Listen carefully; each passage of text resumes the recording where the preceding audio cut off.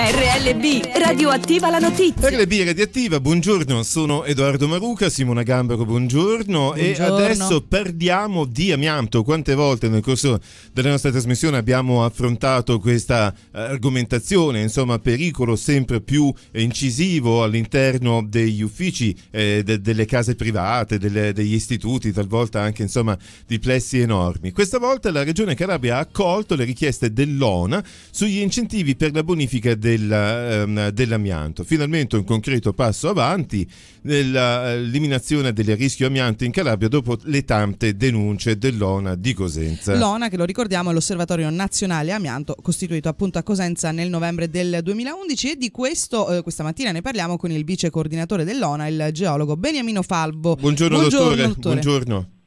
Buongiorno, buongiorno a voi. Grazie. Allora, ci sono tre importanti richieste che sono state comunque prese ovviamente in considerazione non solo dalla Regione Calabria. Spieghiamo un po' meglio di che cosa si tratta. Eh, praticamente noi facevamo parte come ONA Cosenza, ONA è l'Osservatorio Nazionale Amianto, noi abbiamo aperto qui a Cosenza, che poi è l'unica sede regionale, una- un comitato regionale diciamo. Sì, Ecco, e ci interessiamo di questi problemi. Naturalmente facevamo parte del eh, PRAC, il PRAC è, è il piano regionale amianto. Calabria, sì. E avendo, avendo fatto parte appunto di questo eh, presso la Regione Calabria, di questo ehm, settore, il settore ambientale per il piano regionale amianto, abbiamo dato il nostro contributo, soprattutto per rivolto soprattutto alla bonifica dell'amianto sul territorio regionale calabrese. Certo. Perciò il problema è di salvaguardare la salute dei cittadini. Sappiamo quanto naturalmente è malefico la- l'amianto per la salute di tutti i cittadini. Che cosa abbiamo, abbiamo insistito molto Ecco. presso l'amministrazione regionale? Soprattutto per avere degli incentivi, perché se non ci sono questi incentivi, allora né i pubblici né i privati possono attuare la bonifica dell'amianto Certo. abbiamo ottenuto ecco, l'incentivo al 100% per quanto riguarda le strutture e le- gli edilizi pubblici, Mm. perché naturalmente i comuni non hanno la possibilità di bonificare l'amianto perché hanno scarse risorse finanziarie. Per quanto riguarda le- i privati abbiamo chiesto un incentivo in conto capitale, cioè da ritiro a fondo perduto, del 60%. Mm. Impor-. Siamo rimasti molto contenti non solo perché ecco, l'hanno accettato, ma anche perché contemporaneamente, qualche mese dopo, l'INAIL, che è naturalmente l'istituto che si interessa della sicurezza dei lavoratori, per la prima volta quest'anno ha concesso un incentivo proprio per il settore della bonifica dell'amianto. Mm. E l'incentivo che ha concesso alle aziende per togliere l'amianto dai loro capannoni è del 65%. Importantissimo. Perciò noi quando abbiamo chiesto il 60% eravamo già in linea con quanto avrebbe fatto poi successivamente l'INAIL. Perciò non è una richiesta così campata in aria, ma è una richiesta per fare in modo tale che praticamente sia gli enti pubblici e sia naturalmente i privati possano attuare la bonifica dell'amianto. Infatti l'INAIL praticamente ha fatto un bando e c'è stata molta partecipazione da parte delle aziende per attuare la bonifica. Volevo chiederle... Abbiamo chiesto Sì.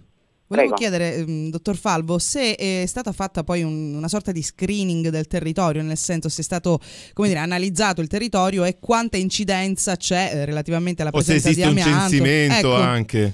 Un censimento di- Ecco, dei siti. Per quanto, riguarda, per quanto riguarda la conoscenza dell'amianto, noi nella regione Calabria l'amianto è stato è applicato soprattutto, prevalentemente, per la copertura dei tetti, Mm, mm, mm.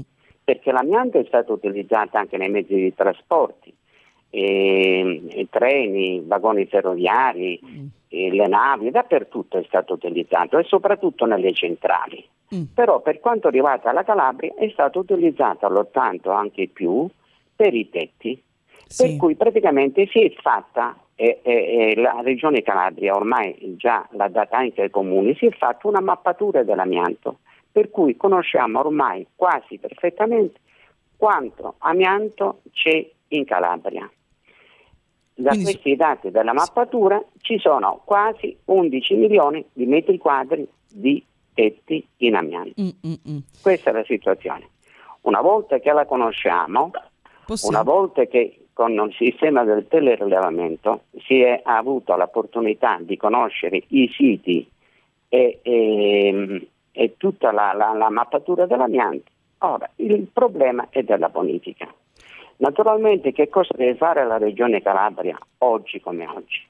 Deve utilizzare i fondi europei che sono che è possibile utilizzarli per la bonifica dell'amianto, Certo. perché l'Europa ha già previsto anche questo settore qua. Per Perfetto. cui praticamente, essendo previsto nella programmazione eh, regionale, e allora bisogna attivare questa bonifica dell'amianto, ecco, con i fondi europei. Va bene. Noi la ringraziamo, ovviamente siamo contenti insomma, che ci siano questi passi avanti da parte dell'ONA. Ma soprattutto alla siamo contenti che ci Eh, siano eh. delle persone come eh, quelle appartenenti alla vostra associazione che se ne sono occupate raggiungendo questo bel, questo bel risultato e la ringrazio tanto per aver partecipato alla Noi nostra ci trasmissione. stiamo, un'ultima cosa, noi Sì. ci stiamo impegnando affinché alla fine di questa programmazione 14-2020 Sì, ci sia la possibilità di avere finalmente una regione pulita. amiantizzata.